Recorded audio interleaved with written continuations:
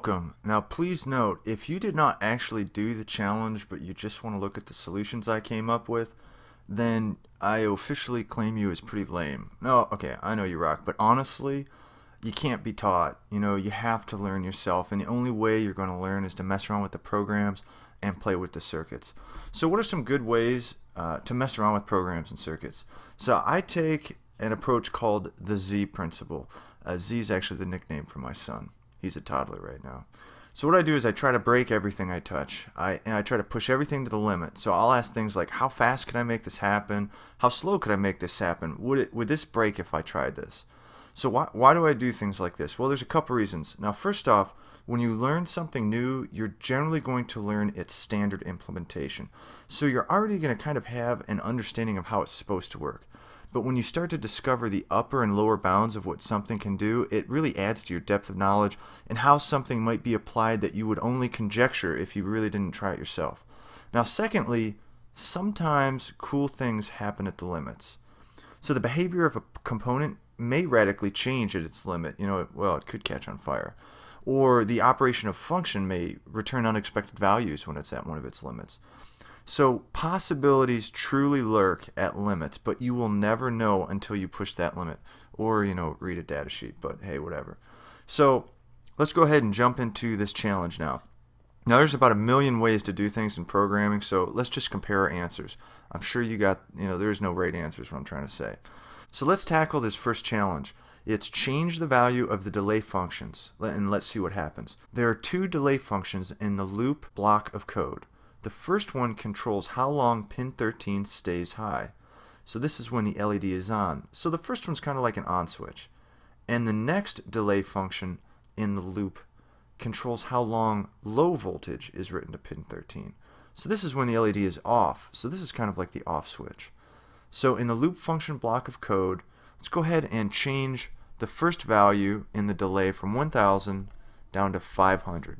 So go ahead and upload that and take a look and see what happens at the board. So you should, what we should see is that essentially this cuts the on time of the LED in half. So now it stays on half a second and then turns off for a full second.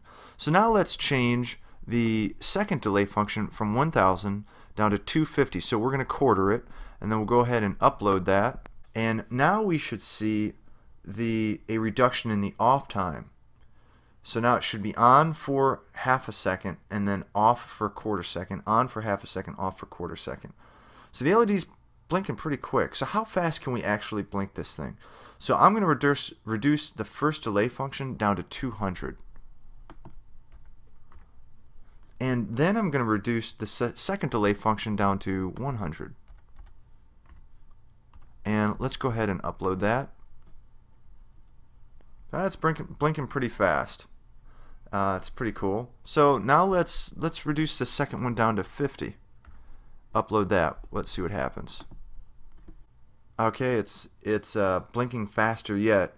So now what I'm going to do is I'm going to I'm going to reduce the first delay down to 5 and the second delay down to 5 and I'm going to see what that does. Now, do you notice something happen? If you look at the LED on your board, the LED does not blink anymore when it gets below about uh, 5 second delay time. Now, why might this be? Now, you might notice that it does pul you might perceive a pulse, and actually on the video you might perceive a blink. Well, I can positively tell you that the LED is blinking for sure. It just blinks so fast that our eyes cannot perceive that it is actually blinking.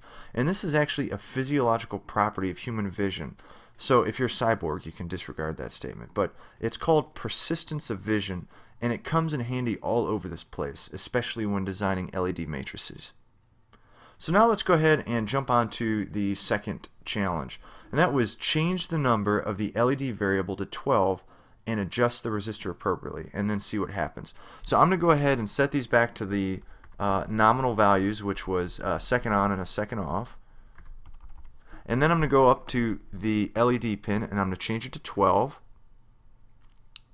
And then I'm going to make sure that I change the resistor on the Arduino to pin 12 and I'm going to go ahead and upload it and see what happens.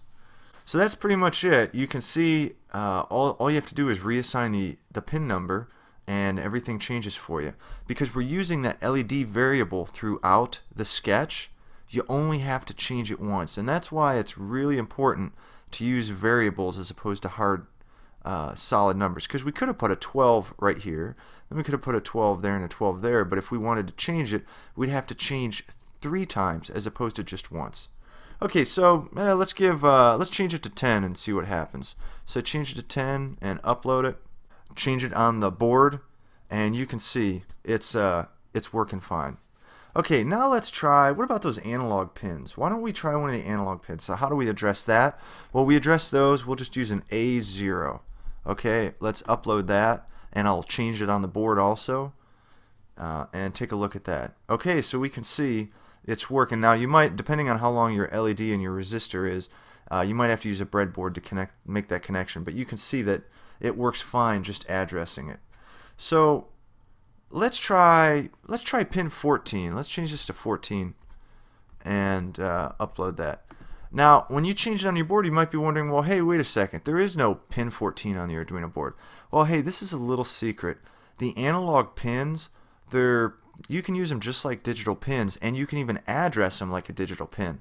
So A0 is actually pin 14, A1 is pin 15, and so on uh, up to A5. So um, it's just a continuation of the digital pins to address them. So uh, let's just go ahead, we'll check out that, upload that and check that out on the board and you can see that. So really the, the take home here is that the analog pins can be used just like any of the digital pins. So hey, that's the challenge. I hope you taught yourself something as you did that and uh, you know I'm curious what what things you tried and if you were able to push limits and, and break something let me know alright have a great one see you at the next tutorial